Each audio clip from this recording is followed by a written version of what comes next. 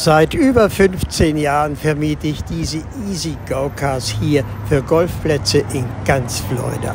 Ich habe insgesamt 11.000 Stück und teile mir die Einnahmen mit einem super Freund, der mir den Einstieg hier in Florida so super gemacht hat.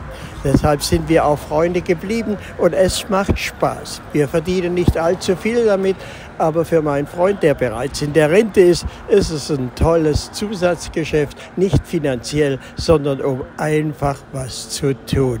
Er war CEO von einer großen Firma in Philadelphia und ist, wie gesagt, seit 15 Jahren bei mir und hatte auch die Idee zu dieser EasyGo-Vermietung.